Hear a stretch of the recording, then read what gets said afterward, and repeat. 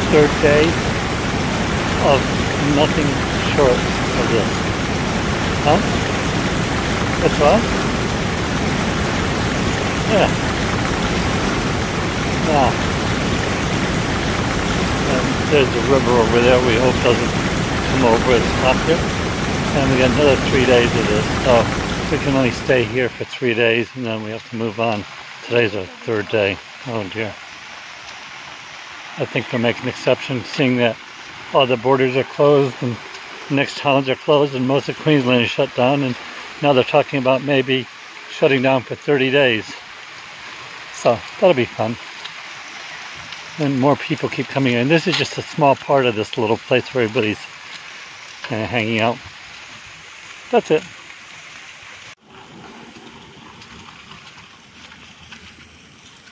Well, it's getting up to the river, I mean up to the bridge.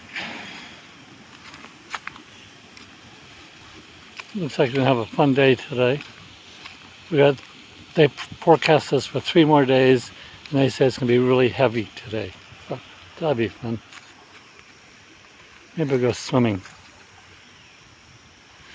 Hey crocodiles, here we are. That's a local river which when we got here three days ago was not there.